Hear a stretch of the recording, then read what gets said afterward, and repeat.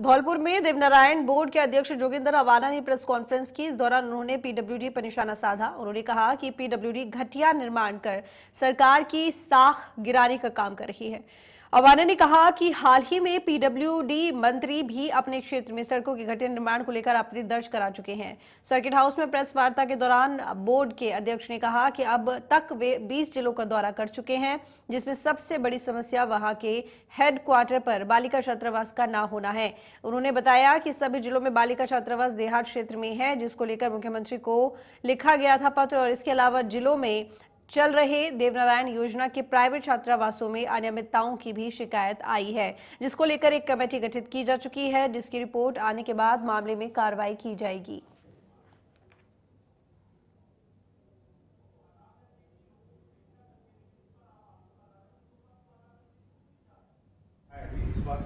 आज जिस तरह से एक अच्छा प्रबंधन हमारे मुख्यमंत्री श्री गहलोत साहब ने पूरे प्रदेश को दिया है, कोरोना जैसी हालात आपने देखी कि किस तरह से प्रदेश की सरकार उससे निकली और उसके बाद में ये सारी चीज़ें, भारतीय जनता पार्टी में तो खुद बहुत लड़ाई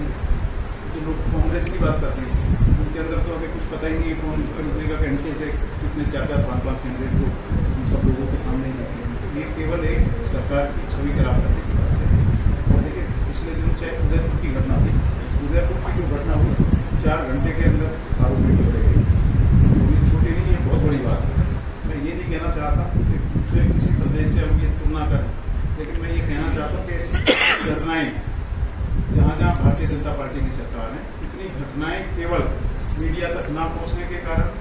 या अधिकारी उनको दबाते हैं, उसके ना पहुँच पाने के कारण